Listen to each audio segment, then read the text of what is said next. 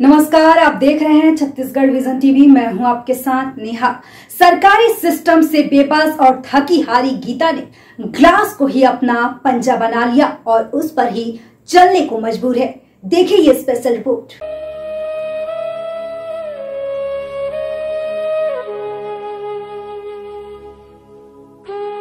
गरियाबंद की 11 साल की गीता बचपन से दिव्यांग है और गीता के दोनों पैरों के पंजे बचपन से नहीं है। गरीब और लाचार पिता के पास इतने पैसे नहीं है कि वह गीता के पैरों में पंजा लगवाए। गीता के माता पिता पैरों की पंजा बनाने की सरकार से कई दफ़ा गुहार लगाए। लेकिन जब कोई उनकी फरियाद नहीं सुना तो गीता ने खुद ही इसका इलाज ढूंढ निकाला और अपने पैरों में ग्लास को पंजा बनाकर चलने लगी। लड़का बार चप्पल चाहिए। और बाइसिकल हाँ। लेकिन पढ़े जा सके। लड़का पढ़ना चाह अपन पढ़ाना चाहत हो? हो। अच्छा, समस्या होते? बहुत समस्या। चल नहीं पाए। कब से मांग करत हो कर बहुत दिन हो गए। अभी तक नहीं मिले? नहीं। ये पूरा मामला छुड़ा विकास खंड के छिंदोली गोंदला बहरा का है। यहाँ 11 साल की गीता सिस्टम से हार कर ग्लास को अपना पंजा बनाकर चलने को मजबूर है। कुछ दिनों बाद सरकार को जब इसकी भनक लगी तो आनंद फानन में गीता को ट्राई साइकिल देकर अपना पल्ला झाड़ लिया। लेकिन उसके पैरों का पंजा अभी तक नहीं बनाया गया। पैरों के पंजा नहीं होने के चलते गीता आज भी ग्लास को अपना पंजा बनाकर घर का सारा काम इन्हीं पैरों से करती है। झाड़ू लगाना, पोछा लगाना, बर्तन धोने समेत घर के सारे काम करती है। फ़िलहाल गीता बैटरी चलित ट्राई साइकिल चाहती है ताकि वह आसानी से पढ़ लिख सके। गीता का सपना है कि वह पढ़ लिख कर टीचर बने लेकिन सरकारी सिस्टम के आगे बेबस और लाचार है।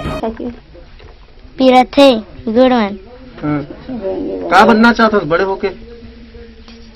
टीचर।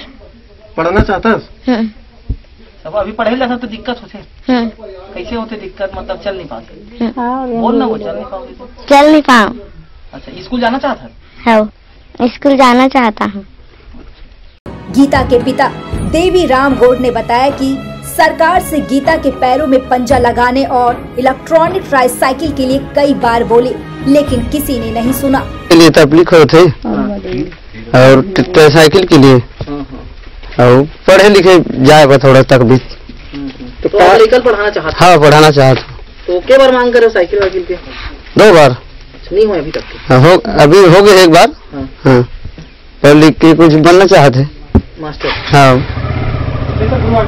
योजनाएँ हो और जरूरतमंदों को उसका लाभ ना मिले तो योजनाओं पर सवाल उठाना लाजमी है क्योंकि किसी भी योजना का सफलता का पैमाना उससे लाभान्वित होने वाले हितग्राहियों की संख्या से लगाया जाता है।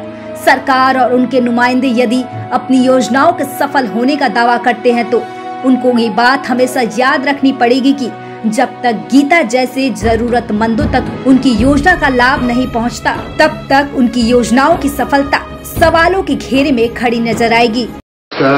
समाचार पत्रों के माध्यम से मैं भी पढ़ा उसको हम लोग अभी उसके गाँव जा रहे हैं। घर जा रहे हैं और जो भी उसकी आवश्यकता होगी वो हम उसको वहीं उपलब्ध कराएँगे। तो कब अब तक क्यों नहीं हो पाई? उसको नहीं दिख? रहा उसको पूर्व में ट्राइसिकल दिया गया था है ना? उसका मुझे जानकारी ऐसा मिला कि उसको पूर्व में भी उसका प- पंजा बनाने के लिए नाप वगैरह हुआ तो था। और जो किस लिए नहीं मिला उसको जाकर भी हमको उसको पता चला। Bureau report Chhattisgarh vision TV.